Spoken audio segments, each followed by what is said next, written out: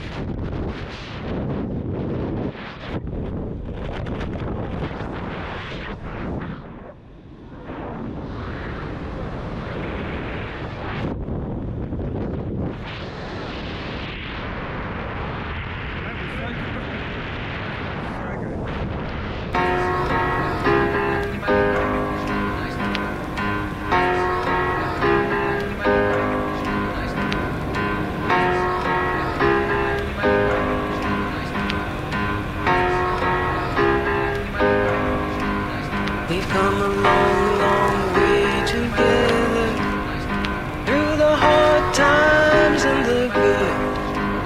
I have to celebrate you, baby. I have to praise you like I should.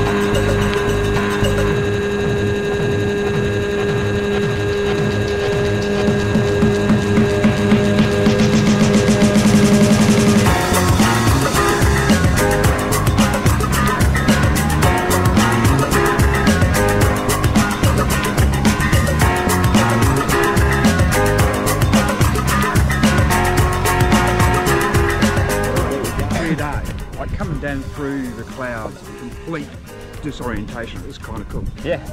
All right, we did that. 60. Set for life now, mate. Indeed. Until the 70th. Yeah. All right, maybe we'll throw one of them out next time. Yeah, yeah, yeah, yeah. All right. Good job. Thank you. That was a fun job.